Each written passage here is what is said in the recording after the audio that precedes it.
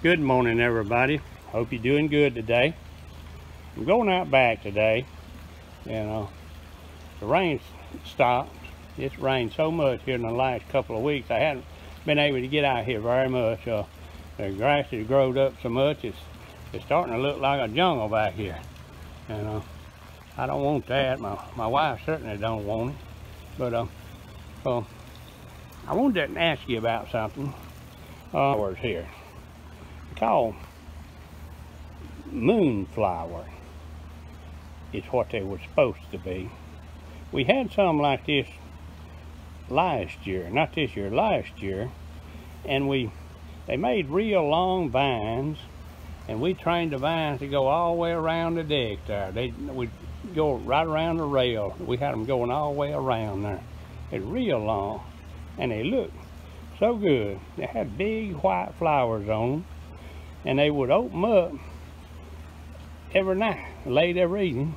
They would open up, make a big flower, and then in the morning time they, they'd close back up during the day. Uh, you couldn't see any flowers on them during the day, and then late every evening they'd open up. I guess that's why they call them moon. They, they open up during the moonlight or something. But anyway, these here, they never did do anything like that. I think I got the packs over at the Dollar General store and last year and it was called Moonflower. And this this was the same thing here this year. I got a, another pack and I thought I was getting the same thing. Maybe there's two different kinds of moonflowers. So if you know anything about this and know why these didn't run with vines, then, then let me know. I'd appreciate it because next year, next spring, I want to replant them, but I don't want to do like this one did. All right.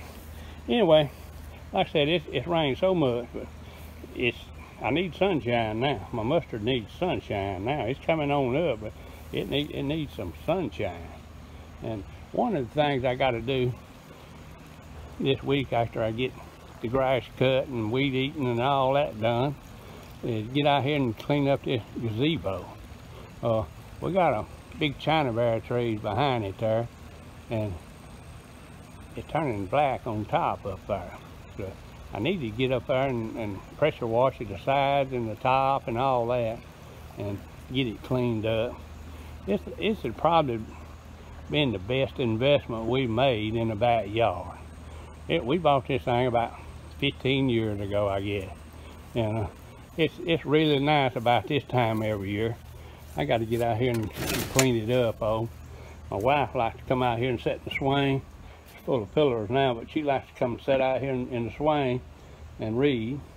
She's got a a big old table in it, and it's got seat that, seat that goes all the way around it, and then